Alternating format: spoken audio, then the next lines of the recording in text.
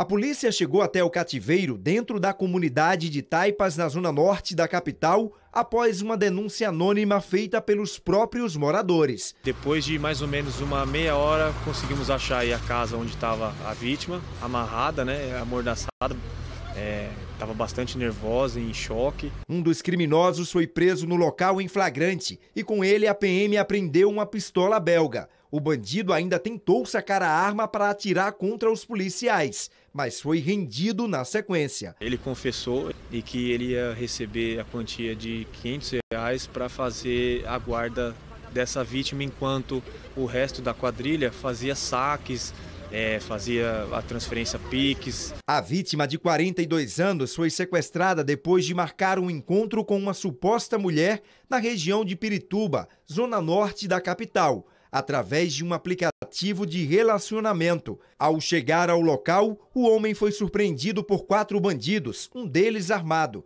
e foi levado para um cativeiro dentro da comunidade na mesma região. Foram 14 horas sob a mira de criminosos até o desfecho do sequestro. O prejuízo, segundo a polícia, foi de aproximadamente 200 mil reais em transações bancárias via Pix. Datena não é de hoje que essa quadrilha age aqui na zona norte da capital. Os encontros são sempre marcados pelo celular através de aplicativos de relacionamento. A polícia já conseguiu prender quatro integrantes da quadrilha do golpe do amor.